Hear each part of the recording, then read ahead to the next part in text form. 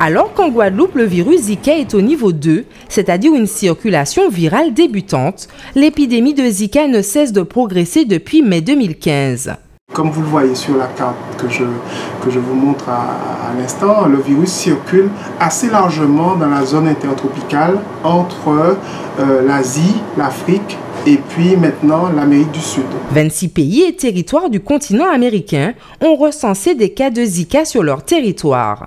Selon l'OMS, plus de 1,5 million de cas recensés au Brésil et 37 000 en Colombie entre 2015 et 2016, classant ainsi ces deux pays comme les plus touchés par cette épidémie.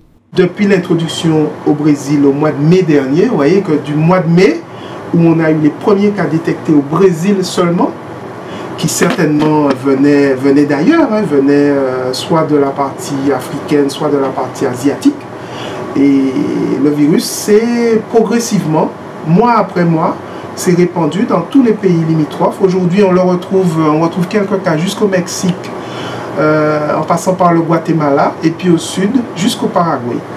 25 cas en Guadeloupe, 99 en Guyane, qui place le département au niveau 3 c'est-à-dire en épidémie, appelant des mesures de gestion habituelles, tout comme la Martinique, dont le recensement des cas ne se fait plus en raison de l'importance de l'épidémie sur l'île Sœur depuis le 20 janvier dernier.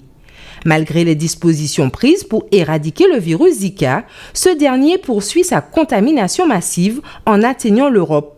Au Royaume-Uni, aux Pays-Bas, au Portugal et en Suisse, la présence du virus a déjà été signalée.